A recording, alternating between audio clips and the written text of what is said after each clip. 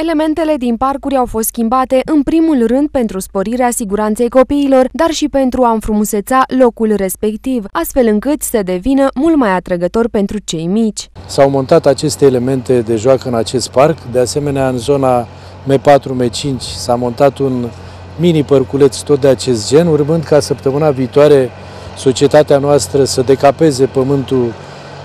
care a fost, astfel încât să poată turna o șapă de beton pe care să monteze acele elemente elastice, acel tartan pe care îl cunoaștem uh,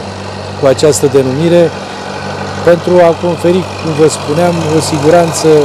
sporită copiilor. În 2014, toate locurile de joacă din Mioveni vor beneficia de îmbunătățiri, pentru ca toți copiii să se poată juca în aer liber și în siguranță, astfel de parcuri au fost construite și în Racovița, Clucereasa, Făget și Colibaș.